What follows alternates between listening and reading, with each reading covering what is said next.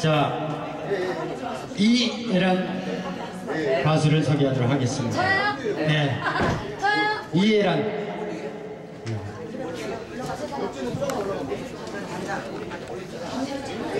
저 세상에 부르면 자 요즘 저 방송을 많이 통해서 인사를 드리고 있는데 좋은 일도 많이 하는 그런 가수입니다 다시 한번 박수 맞이해주시기 바랍니다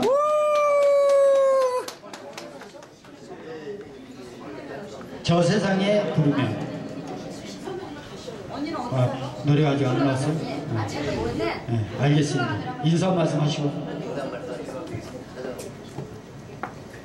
네, 안녕하세요. 저 오직 한 사람 이해란입니다. 어, 아무쪼록 어, 오늘 이렇게 만나뵈어서 반갑고요. 새해는 복 많이 받으시고 모두들 대박 나시길 바라면서요. 저는 흘러간 노래 이미자 씨의 전통 트로트죠. 소심이라는 노래 한번 불러보도록 하겠습니다.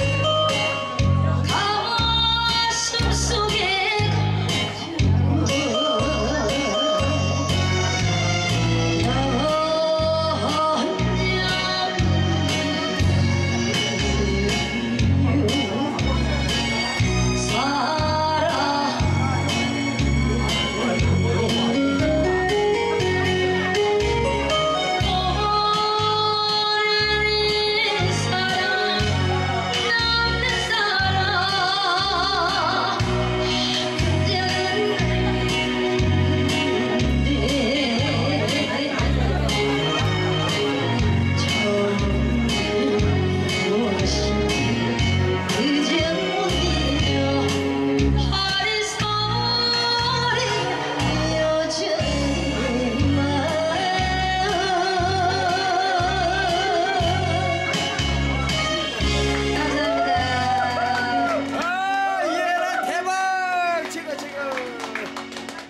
야 박수가 5천 명 나와서 5천 명.